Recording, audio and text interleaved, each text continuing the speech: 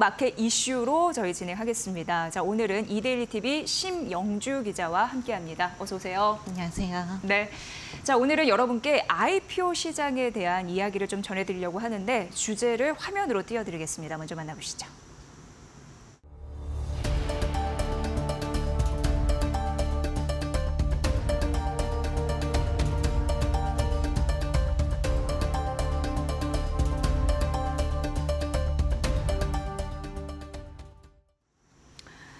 네, 여러분께 소개해드리는 기업은 3조 대어로 IPO 시장에 막강한 영향력을 줄 것으로 예상이 됩니다. 기업명이 시프트업이라고 하는데 어떤 기업인지 심영주 기자가 좀 소개를 좀 부탁드리겠습니다. 예. 네, 우선 이제 시프트업 같은 경우에는 서브컬처랑 triple A 콘텐츠를 triple A 콘솔 게임을 전문으로 하는 회사인데요.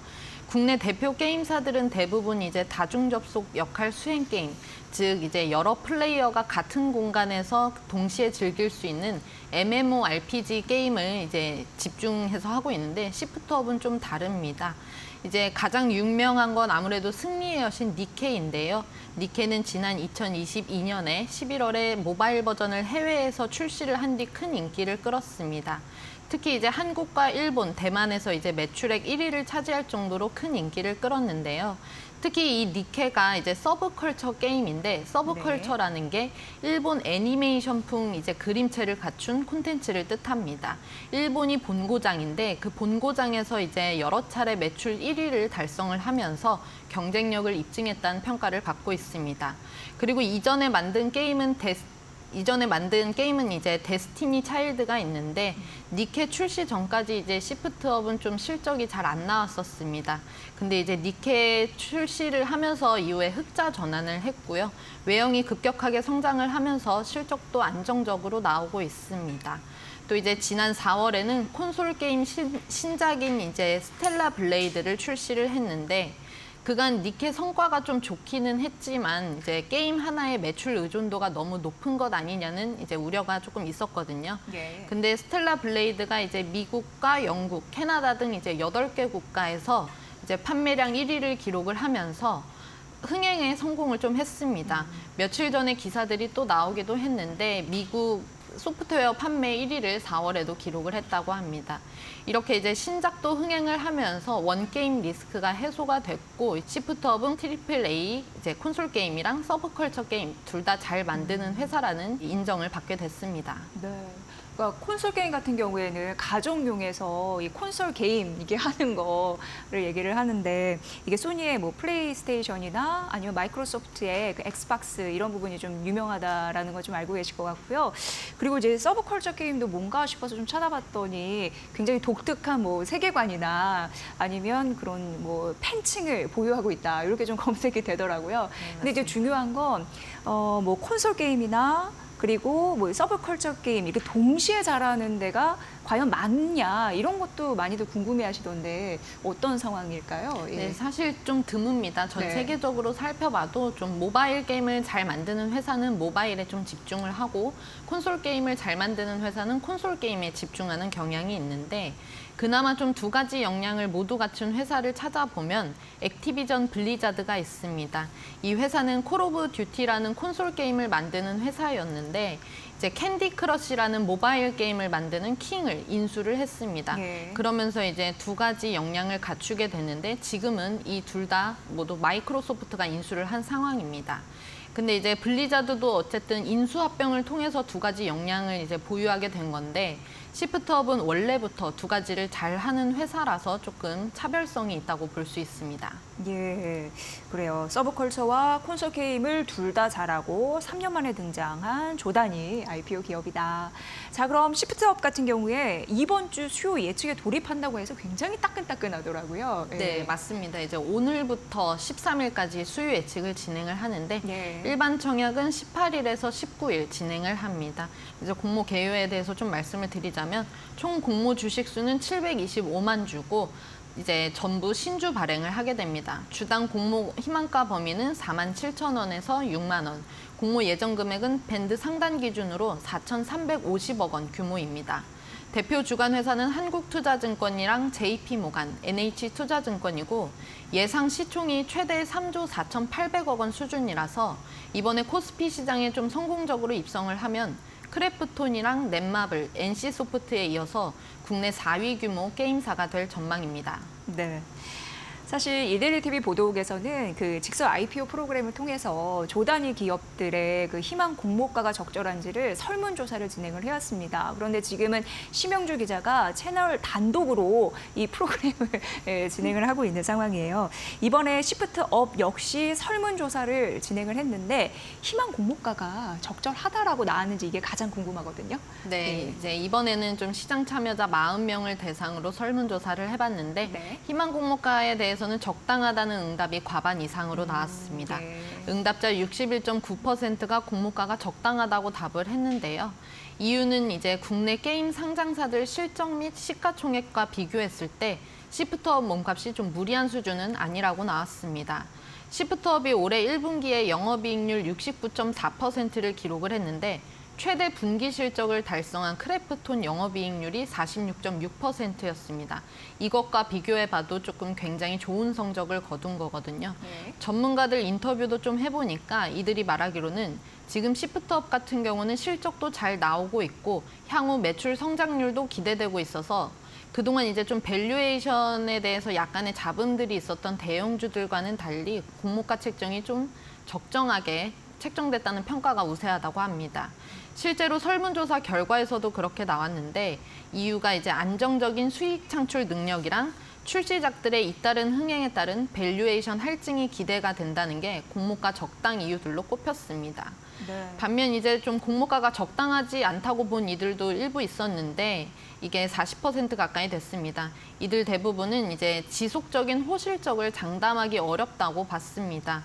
시프트업이 이제 내놓은 4월에 내놓은 신작 데스티니 차일드가 이제 성과는 지금은 좋지만 이 신작 효과가 언제까지 이어질 수 있을지 좀 지켜봐야 한다는 의견이었습니다. 네. 결국 희망 공모가가 적절하다라는 의견이 많았는데 그거는 이제 실적에서 근거가 있었고 공모가가 부적절하다라는 의견은 적었지만 그 의견을 봐도 아, 호실적이 지속적일지는 의문이다 이렇게 파악이 된 상황입니다. 어, 희망 공모가 IPO하는 기업들을 판단할 때 왜 피어 그룹, 동종 기업들, 동종 그 업종의 그 기업들을 좀 따져야 되잖아요. 이거는 좀 어떻게 나왔는지 적당하다고 나왔는지 궁금한데요. 희망 공모가는 네. 적당하다고 나왔는데 네. 비교 기업에 대해서는 좀 부정 응답이 높게 음, 나왔습니다. 예. 응답자 63.6%가 비교 기업을 적절하지 못하게 꾸렸다고 답을 한 건데요. 이유는 비교 기업과 규모 차이가 좀 크고 일부 비교 기업은 publishing을 영위하고 있다는 점 그리고 사업 환경과 매출 구성에서 차이가 있다는 점을 꼽았습니다. 네, 그러니까 시장 참여자들이 비교 기업이 좀 문제가 있다라고 봤네요. 그럼 그게 어딘지 좀 살펴봐야 될 것 같은데 국내 기업은 어떤 것 같 은 생각이 드는데 맞나요? 네, 맞습니다. 예, 예. 이제 비교 기업을 총 세 곳을 꾸렸는데 네. 모두 이제 연간 조 단위 매출을 기록하는 일본 대형 게임사들입니다. 예. 체급 차이가 당연히 날 수밖에 없고요. 그리고 이제 지난해 매출 구성을 좀 살펴봐도 시프트업은 게임만 전문적으로 하고 있는데 나머지 회사들은 디지털 엔터테인먼트나 광고, 출판업 등 좀 다양한 사업을 하고 있습니다. 다만 이제 시프트업 매출이 85% 이상이 해외에서 발생하고 있어서 국내 기업들과 비교하기에는 조금 무리가 있다는 의견도 있습니다. 네. 자, 그러니까 시프트업 매출이 85%가 해외에서 난다라는 그런 부분을 좀 말을 해줘서 이해가 되네요. 어, 시프트업의 향후 실적이 또 좋 을 거기 때문에 희망 공모가도 좀 적절하게 나오지 않나 싶었는데 근데 이제 이런 생각도 해봐야 됩니다. 게임 산업 같은 경우에는 업황 자체가 엄청 이렇게 분위기가 좋은 건 아니거든요. 얼마나 영향을 미칠지 궁금한데요. 네, 이제 그런 저- 부분도 있었나요? 네, 좀 여쭤봤습니다. 실적 전망과 관련해서도 여쭤봤는데 전문가들 인터뷰를 해보니까 다들 입을 모아서 말을 하는 게 지금 글로벌 게임 산업은 좀 둔화 국면에 빠져 있다. 하지만 시프트업은 달리 앞으로 성장 가능성이 높다였습니다. 이유로 말하는 게 게임 산업에서 이제 가장 중요한 부분이 인건비 문제인데요. 인력에 대한 고정비 투입이 많은 다른 회사들과 달리 시프트업은 좀 인력 구조가 굉장히 슬림해서 이 인건비에 대한 비용 통제를 잘 하고 있다고 합니다. 그래서 적은 인력으로도 아주 효율적인 성과를 내고 있다고 평가를 한 건데요. 그런 점에서 앞으로 실적이 좀 흔들리지 않을 것이라는 분석이 나왔고 또 이제 출시하는 게임들마다 좋은 성적들을 거두고 있어서 안정적인 실적을 이어갈 것이란 분석이었습니다. 그리고 또 이제 앞서 말했듯이 전 세계적으로 살펴봐도 서브컬처 게임이랑 콘솔 게임을 둘 다 잘하는 회사가 많지가 않아서 시프트업이 거기서 경쟁력을 충분히 갖췄다고 평가를 했습니다. 그리고 이제 실제로 실적을 살펴봐도 시프트업은 이제 2022년 니케 출시 이후에 매출이 급격하게 성장해서 계속해서 안정적인 실적을 내고 있습니다. 다만 이제 게임 산업이 흥행 산업에 좀 속하다 보니까 게임 성과에 따라서 이제 실적 변동성이 크다는 점은 리스크 요인으로 꼽힙니다. 다만 이게 게임사라면 갖출 수밖에 없는 이제 리스크 요인인 거고 시프트업만이 갖고 있는 특별한 리스크 요인은 없다는 게 시장 평가입니다. 실제로 설문조사 결과도 그렇게 나왔는데요. 응답자 70%는 시프트업 실적 전망이 긍정적이라고 답을 했습니다. 네, 뭐 이거네요. 어, 글로벌 게임 산업이 둔화돼도 시프트업은 예외가 될 것이다. 이런 가능성을 설문조사에서 나왔다고 하는데 그 이데일리 TV 심영주 기자가 그 채널 단독으로 하는 이 설문조사는 사실 이제 조단위 기업을 대상으로 하는 거고 그 희망 그 공모가가 적절한지를 미리 그 모의고사를 치르는 거다 이렇게 봐주시면 될 것 같습니다. 워낙 그 게임사 그 IPO가 오래간만에 나온 거고 예, 3년 만에 등장이고 3조 되었기 때문에 많은 분들이 또 관심을 갖고 있는 그런 사항이 아닐까 싶은데 인건비 부분에서도 가성비가 있고 또 서브컬처나 콘솔 게임 둘 다 또 경쟁력이 있다라는 부분 좀 어필해 주셨고요. 어, 지금 설문조사 결과로 보면 IPO 흥행은 하겠다. 이렇게 좀 예측은 되고 있는 상황인 것 같은데 실제로 결과 좀 공개해 주시고 이유도 좀 들어볼까요? 네, 일단 이거 IPO 흥행 전망에 대해 물었을 때는 네. 전반적으로 긍정 평가가 우세했던 만큼 흥행할 것이라 보는 시선이 많았습니다. 77.3%가 시프트업 IPO는 흥행할 것이라고 답을 한 건데요. 이유는 이제 오랜만에 등장한 조단위 게임사로 시장 관심이 클 것이라는 점과 오버행 부담이 낮다는 점이 61.6%로 각각 동일하게 나왔습니다. 이제 오버행 부담이 낮다는 건 수급 측면에서 아주 매력적이라는 건데요. 공모주는 수급도 이제 영향을 받기 때문에 이런 점도 참고해 봐야 되겠습니다. 그리고 이제 다만 부정적으로 전망한 이들은 그 이후로 국내외 게임 시장 둔화가 이어지고 있 고 이제 전망 또한 불확실하다고 봤습니다. 그리고 또 이제 코스피 게임 상장사들의 상장 후 주가 하락 전례가 투심을 약화시킬 것이라고 봤습니다. 이제 여기서 특히 중요한 게 코스피 게임 상장사들의 주가 하락 부분인데요. 이것도 이제 전문가들 인터뷰를 했을 때 공통적으로 나왔던 우려 부분이었습니다. IPO가 흥행할 것이라 전망한 이들도 이 부분은 우려를 나타냈는데요. 지금 코스피에 상장된 대표적인 게임사가 크래프톤이랑 넷마블인데 이들이 각각 공모가 49만 8천 원 그리고 15만 7천 원에 상장을 했습니다. 근데 이후에 주가가 절반 수준으로 떨어졌습니다. 아무래도 투자 심리라는 게 과거 이제 경험에도 영향을 받을 수밖에 없어서 게임주다 보니까 이제 시장에서도 이런 우려가 나오고 있습니다. 그럼에도 불구하고 이제 전문가들이 또 얘기를 하는 거는 크래프톤이랑 넷마블은 상장 당시에 IPO 분위기가 지금보다 훨씬 더 과열이 돼 있었고 value도 너무 고점에서 산정을 한 데다가 상장 후 차기작에도 실패하면서 주가가 떨어졌다고 합니다. 근데 이제 시프트업은 좀 다를 수 있다고 보는 시선이 있습니다. 또 이제 여기서 특히 또 눈여겨봐야 하는 게 중국 리스크 부분입니다. 중국이 세계 최대 게임 시장 중 하나로 이제 꼽히는데 시프트업이 이미 국내랑 일본에서는 잘하고 있어서 다음 스텝으로 중국 시장 진출을 준비를 하고 있거든요. 그래서 중국 정부 허가를 받기 위해서 준비 중인데 이 서비스 허가권을 받는 거를 판호를 발급받는다고 하는데 네. 판호 발급이 수월하게 되면 이제 매출도 폭발적으로 성장을 하면서 주가도 당연히 오를 건데 반대로 판호 발급이 안 되면 주가가 떨어지면서 이번에 IPO 흥행에도 영향을 미칠 수 있다고 분석을 하는 분들이 많았습니다.